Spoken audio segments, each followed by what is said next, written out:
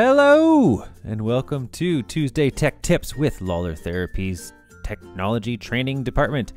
Have you ever had a loved one, a client, a peer, a neighbor who you wanted to help but you didn't really want to go to their house or didn't have time to go to their house to show them something on the computer?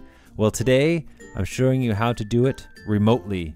We're using Chrome Remote Desktop, and as you can see here, it's as simple as opening the app in Google Chrome clicking share my computer, and then relaying the code to the second computer. So in the bottom right hand corner, I have the second computer. So we're going to say that is your computer, and the top left will say that's your client's computer. Okay? So in my computer, I'm entering the code, and very easily and quickly, you'll see that I just have to launch it. And on the client computer, it's going to say, hey, do you grant access to this guy? Of course we do. That's the whole point of this. So as the person sharing my screen, I can always end the session by hitting stop sharing in the green bar at the bottom.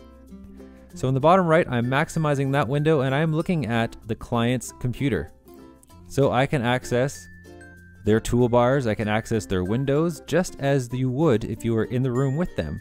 So in the bottom right, I'll go to a website and you can see in the top left hand corner on the client's computer, they're following right along, just watching what we're doing. So this would be great if you were sort of on speakerphone or maybe a Google Hangouts chat in the background or something, just so you can talk along with them. But you can see that I can very easily manipulate their web browser. Or let's do something a little bit more useful. How about I go to System Preferences and help them adjust something on their computer so it works better for them. In this example here, I'm just changing uh, some energy saving stuff, just make it so their screen doesn't black out as fast as it has been. We'll just slide this one a little bit. There we go, cool. And that's all I really wanted to do. Hit OK. So you can see how handy dandy this Google Chrome extension is.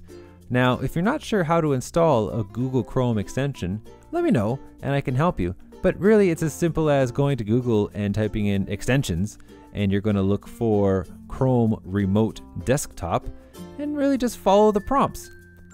So now uh, you can see that on the client computer, I ended the session.